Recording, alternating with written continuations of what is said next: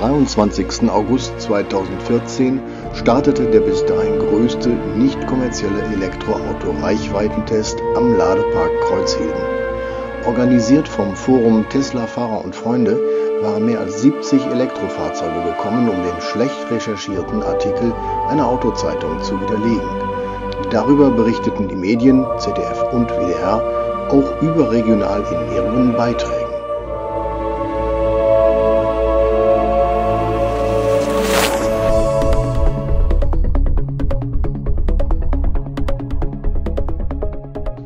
Der Testfahrt ging es darum, mit möglichst konstanter Geschwindigkeit auf der Autobahn Richtung Norden zu fahren. Sobald die Hälfte der Batteriekapazität verbraucht war, wurde die nächste Ausfahrt gewählt und zum Ausgangspunkt zurückgekehrt. Die erzielte Strecke und verbliebene Reichweite wurden addiert, um eine praxisnahe Reichweitenbestimmung zu erhalten. Bei meinem i3 und 90 km pro Stunde waren dies 161 Kilometer.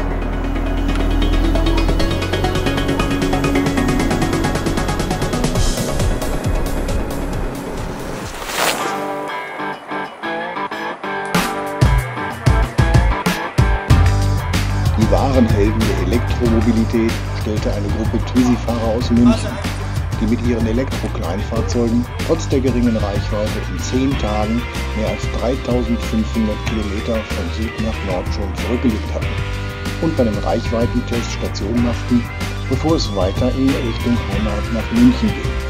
Jetzt geht es erstmal von Hilden zur nächsten Zwischenstation nach Köln.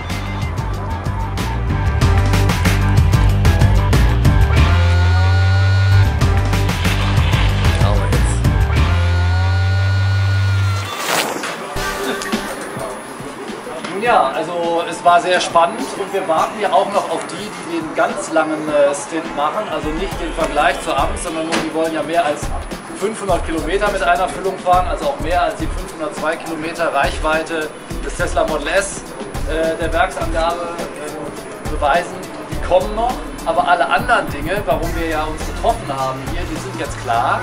Wir haben also mit Tempomat 120 die Ergebnisse da, die wir dann mit den Durchschnittsergebnissen von 120 von der AMS vergleichen. Dann starten wir, fangen wir unten an. Smart GD, die AMS hat gesagt, der kommt nur 50 Kilometer weit bei 120. Unser Rad, der mit 120 km/h gefahren ist, ist 94 Kilometer weit.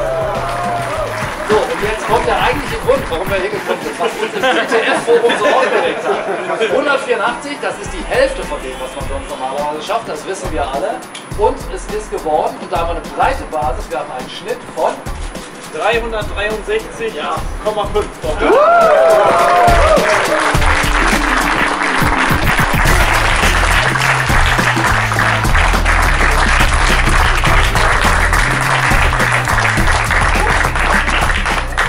Ja, liebe Automotor und Sport, in Sachen E-Mobilität müsst ihr echt noch was lernen. Äh, wir bringen euch das gerne bei.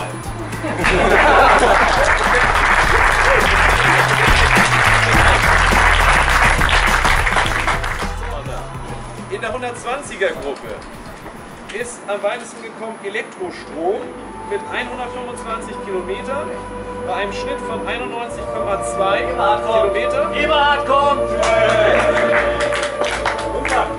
Äh, wir, wollen wir gleich weitermachen? Eberhard kommt auf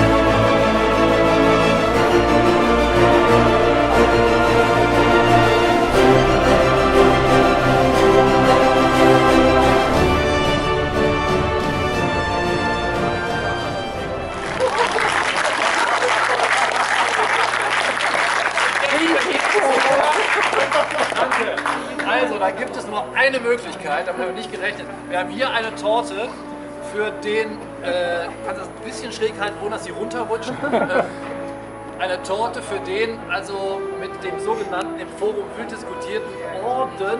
Wir verleihen mit dieser Torte den Orden wieder der tierischen Reichweitenangst. Ja. Kilometer Null. Das sind 18 Leute. Eine schöne leichte Cremetorte hat normalerweise 16 Stück. Eine Ja. Möglichkeit. Wir müssen jetzt anschneiden und alle 18, die eine Null gefahren sind, kriegen ein Stück. Sagen, was daraus wird. Ist doch gut. Mein Vorschlag auf den.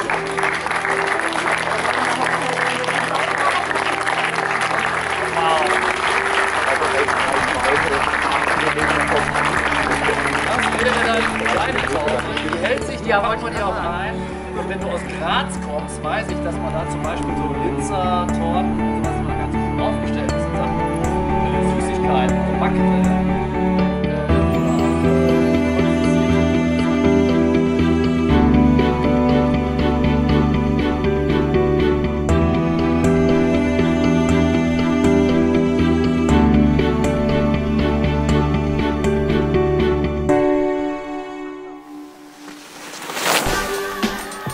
Glaubst du denn, dass eine Resonanz von der Automotor und Sport kommt, wenn wir das jetzt veröffentlichen? Naja, also wichtig ist vor allem, dass man es einfach mal gemacht hat, weil ähm, das Problem bei der Elektromobilität derzeit ist ja, dass 99,5% aller Leser der Zeitschrift noch nie ein Elektroauto gefahren haben. Und dann liest man das eben und denkt, das stimmt, was da drin steht. Und dann hat man halt ein völlig falsches Bild davon. Und wenn man dann sagt, naja gut, da ist ein Auto, das wird groß wird beworben und das leistet gar nicht das, wofür es eigentlich angepriesen wird. Das ist, glaube ich, das, was uns alle ja am meisten geärgert hat.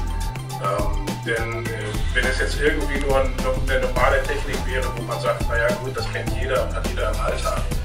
Gerade bei der Elektromobilität sind wir ja nun an so einem Punkt, an dem wir ganz genau darauf achten müssen, dass die richtigen Daten äh, darüber kommen, damit sich Menschen, die noch nicht damit in Berührung gekommen sind, ein richtiges Bild machen können. Darum denke ich, dass diese Aktion heute unglaublich wichtig ist, ähm, eben auch in der Realität, in, in dem echten Härtetest, nämlich dem, was das Leben schreibt, ähm, tatsächlich ähm, zu beweisen, es geht. Und äh, die Öffentlichkeit, die damit erzeugt wurde, ist natürlich gut, denn wir alle, die Tesla Model S fahren, äh, und das zum Teil ja schon viele 10.000 Kilometer, die wissen, dass es überhaupt kein Problem ist. Aber ich hoffe, dass jetzt auch das richtig gestellt wird, denn was uns wahrscheinlich am meisten geärgert hat bei dem Artikel, war ja, dass dort eine Grafik gezeigt wurde, dass man mit dem Wagen noch nicht mal von Stuttgart nach München fahren kann und dann irgendwie so kurz hinter Augsburg liegen bleibt. Ich glaube, das galt es zu widerlegen und das scheint ja sehr eindrucksvoll passiert zu sein heute. Ja. Und zwar haben wir noch eine, eine weitere Erkenntnis. Es haben ja äh, vier äh, Model S-Fahrer versucht, auch die Tesla-Werksangabe zu knacken. Zwei sind noch unterwegs, zwei sind schon wieder da. Also der Eberhard, hier der Präsident vom Tesla Fahrer und Freunde Forum e.V., ähm, der hat tatsächlich 519, 514,9. 514,9 Kilometer gefahren und ist hier mit Restreichweite 0 angekommen. Also genial. Der ist mal eben kurz an die Nordsee gefahren, fast, fast bis an die Nordsee. Ähm, die zwei, die noch unterwegs sind, haben sich nämlich den Jux erlaubt, von der Autobahn abzubiegen, weil sie ein Foto am Deich an am Meer machen wollten. Äh, auf die warten wir aber jetzt noch. Das Foto habe ich auf dem Forum schon gesehen, das, das konnte man ja ganz gut nachvollziehen. Ja, und ich denke mal, ich, ich meine, wichtig ist bei den Ergebnissen jetzt die Bandbreite mal zu sehen. Denn ja, man kann äh, ein Elektrofahrzeug über die Werksangaben hinausfahren, müsste man die, die Durchschnittsgeschwindigkeiten mal anschauen.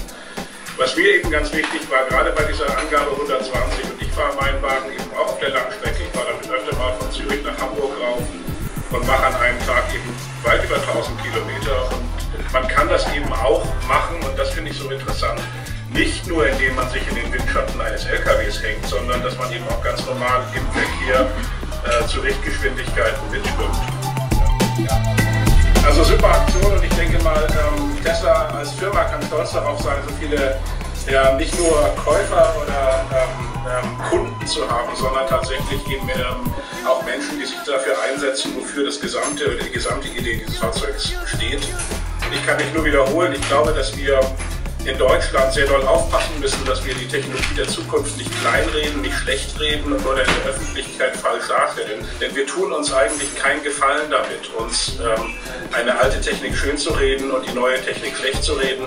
Und darum glaube ich, dass diese Aktion sehr wichtig dafür war, tatsächlich einige Dinge richtig zu stellen. Und wie ich höre, ihr habt ja auch das ein oder andere Medium noch mit dabei, die vielleicht auch mal in einer kritischen Berichterstattung überprüfen, ob all das so ganz richtig war. Und ich bin sehr froh darüber, dass, dass ihr das gemacht habt. Nochmal herzlichen Glückwunsch Ja, an alle danke. und die Organisation. Ja, dir auch vielen, vielen Dank, Okay. äh, Lars. Super, klasse. Und dann wünsche ich allen Fahrern ähm, und allen Teilnehmern eine gute Heimfahrt und noch eine schöne Party. Ihr jetzt feiert euren ähm, Erfolg mit, den, äh, mit dieser Reichweitenfahrt. Und ich freue mich auch auf die Dokumentation der einzelnen Ergebnisse. Machen wir. Vielen Dank. Okay, bis dann. Tschüss.